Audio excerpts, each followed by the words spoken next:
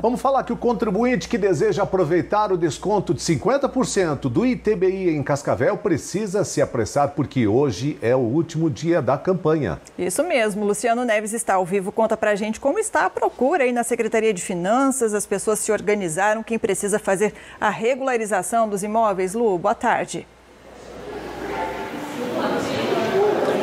Oi, Fer, boa tarde para você, boa tarde, Ivan, para todos que nos acompanham no Jornal Tarobá, primeira edição. De fato, a procura tem sido grande, afinal de contas, hoje, dia 20 de novembro, é o último dia para fazer a regularização do Imposto sobre Transmissão de Bens Imóveis, o chamado ITBI. Nós viemos aqui em frente à Secretaria de Finanças do município, na Prefeitura de Cascavel, e olha, Fer Ivan, a procura tem sido bem intensa. Como eu disse, hoje é o último dia para aproveitar esse desconto de 50% para fazer a regularização do ITBI. Então, então, a rotina tem sido bem movimentada desde cedo. Conversei com algumas das atendentes e muita gente veio procurar este benefício.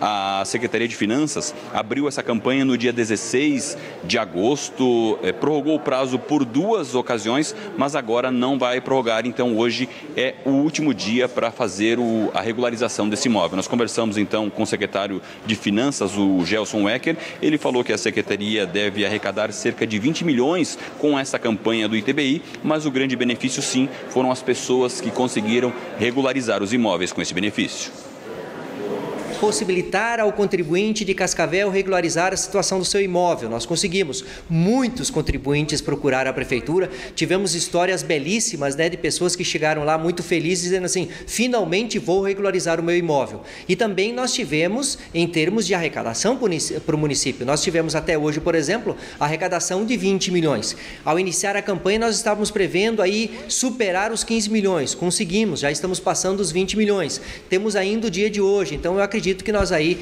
vamos finalizar na casa dos 22 a 23 milhões. Então, benéfica nos dois sentidos a campanha do TBI.